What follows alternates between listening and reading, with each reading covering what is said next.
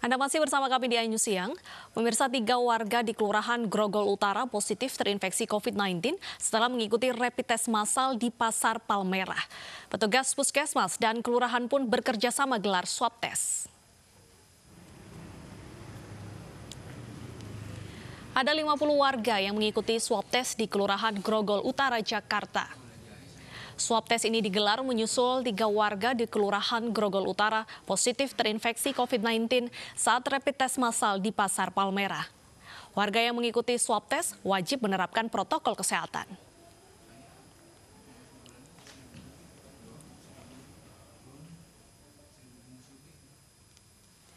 Rapid dan swab tes gratis juga digelar di Kelurahan Keramat Pela, Kecamatan Kebayoran Baru, Jakarta Selatan.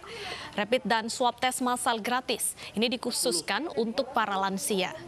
Petugas Puskesmas Kelurahan Keramat Pela sendiri menargetkan 50 lansia yang mengikuti tes ini.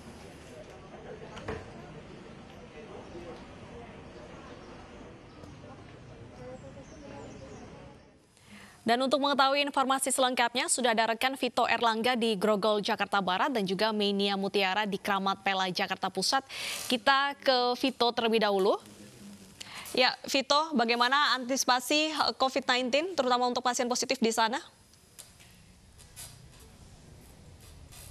Ya, baik Deta dan pemirsa, seperti yang Anda sebutkan tadi, memang hari ini uh, Puskesmas Kecamatan Kebayoran Lama menggelar rapid test di Kelurahan Grogol Utara.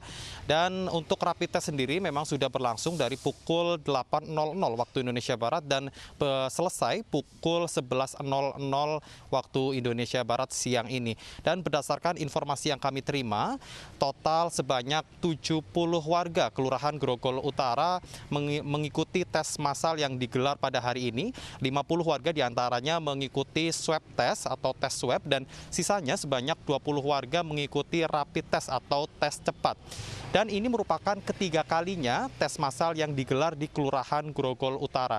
Untuk tes pada hari ini sendiri menyu, uh, digelar menyusul adanya laporan tiga warga tiga warga Grogol Utara yang terindikasi positif COVID-19 dari hasil tes swab yang dilakukan di Pasar Palmerah beberapa waktu lalu. Untuk itu, uh, tes massal pada hari ini sendiri difokuskan digelar untuk warga yang memiliki riwayat kontak langsung bersama dengan tiga uh, warga yang dinyatakan positif tersebut. Dan untuk untuk hasil dari tes rapid sendiri memang sudah bisa diketahui 15 menit setelah uh, uh, warga menjalani tes dan untuk berdasarkan uh, laporan dari Puskesmas Kecamatan Kebayoran Lama sendiri mengatakan bahwa uh, dari rekap total hari ini tidak ada warga yang dinyatakan reaktif. Artinya seluruh warga dinyatakan non reaktif dan untuk hasil swab test sendiri baru bisa diketahui 3 hingga 7 hari ke depan. Kembali ke Anda. Baik, terima kasih atas informasinya. Vito, selanjutnya kita ke Mania. Mania, bagaimana hasil pemeriksaan rapid ataupun juga swab test di sana? Ya Deta dan uh, pemirsa, rapid dan swab test gratis di Kelurahan Keramat Pela, Kecamatan Kebayoran Baru, Jakarta Selatan masih berlangsung di halaman pos RW 07 di kelurahan ini tidak hanya bagi warga yang tinggal di sini saja, namun uh, tes massal ini diperuntukkan uh, untuk umum dan pada hari ini dikhususkan bagi para lansia. Terdapat dua jenis tes yakni rapid dan swab test yang melayani hingga 50 orang per harinya. Petugas yang bersiaga untuk memeriksa warga di sini berasal dari Puskesmas Kelurahan Keramat Pela dan para petugas medis ini mengaku bahwa saat ini justru lebih banyak uh, indikasi OTG OTG atau orang tanpa gejala. Maka dari itu petugas kesehatan dari Puskesmas Kelurahan Keramat Pela melakukan active finding case atau justru lebih secara aktif memeriksa uh, para uh, pasien di wilayah mereka masing-masing seperti yang tergelar sekarang. Sebelumnya pihak dari Kelurahan Keramat Pela telah melakukan dua kali tes serupa seperti yang tergelar pada hari ini. Data. Baik, terima kasih Meinia dan juga Vito atas informasinya. Selamat bertugas kembali. Pemirsa tiga orang dinyatakan positif, pasar Mede di Cilandak, Jakarta Selatan ditutup sementara. Pasar pun disemprot disinfektan agar steril saat dibuka kembali. Pengelola pasar bersama dengan Dinas Pemadam Kebakaran melakukan penyemprotan disinfektan di setiap sudut pasar. Penyemprotan pun dilakukan sejumlah personil damkar yang berkeliling ke area dalam pasar dengan mesin sprayer. Hal ini dilakukan setelah swab test yang dilakukan pada pekan lalu. Dari 81 pedagang yang diswab, tiga orang dinyatakan positif. Pasar pun ditutup mulai hari ini dan rencananya pasar kembali beroperasi pada Jumat 3 Juli 2020 dengan menerapkan protokol kesehatan yang lebih ketat.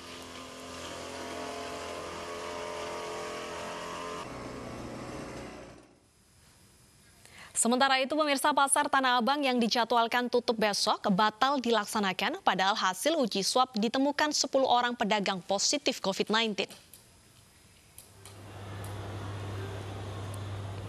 Aktivitas pasar Tanah Abang hari ini berjalan seperti biasa dengan tetap memperlakukan protokol kesehatan. Wacana penutupan pasar Tanah Abang sementara yang diminta oleh petugas Puskesmas dan Kecamatan Tanah Abang urung dilakukan. Padahal hasil uji swab Puskesmas Kecamatan Tanah Abang pada 23 Juni 2020 lalu di lima titik di area pasar Tanah Abang ditemukan 10 orang pedagang dan karyawan positif COVID-19.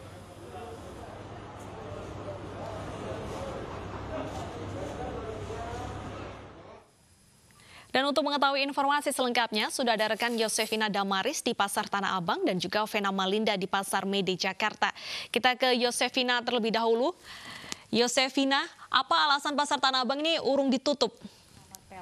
Dan para petugas medis ini mengaku bahwa saat ini lebih banyak indikasi OTG atau orang tanpa gejala sehingga para petugas medis justru melakukan active finding case atau secara aktif melakukan pemeriksaan di wilayah mereka masing-masing seperti yang tergelar saat ini. Sementara itu sebelumnya pihak dari Kelurahan Keramat kepada pengelola pasar khususnya Blok Tanah Abang ini yakni Yosef Indiarto ini menyatakan bahwa wacana penutupan pasar Tanah Abang ini batal dilakukan tapi tidak ada alasan yang pasti ataupun rinciannya mengapa akhirnya pasar Tanah Abang ini batal dilakukan penutupan. Dan uh, sehingga bisa dilihat sendiri uh, Bernadetta bahwa aktivitas saat ini berlangsung normal uh, aktivitas jual beli yang berlangsung maksud kami kemudian juga protokol kesehatan juga masih berlaku. Baik itu juga akses pengunjung yang dibedakan kemudian uh, juga uh, kios yang beroperasi sesuai dengan sistem ganjil genap namun untuk yang penutupan ini tidak dilakukan padahal kita ketahui bahwa hasil uji swab yang dilakukan 23 Juni kemarin oleh Puskesmas Kecamatan Tanah Abang ini ada 10 yang positif sehingga ini yang perlu dipertanyakan. Padahal kalau kita berkaca dengan kondisi yang sama di pasar tradisional lain di Jakarta biasanya akan langsung dilakukan penutupan pasar setidaknya selama tiga hari guna sterilisasi. Beradeta. Baik, terima kasih Yosefina Damaris atas informasinya. Selanjutnya kita ke Vena Malinda. Vena, berapa kali sehari proses sterilisasi yang dilakukan di Pasar Mede?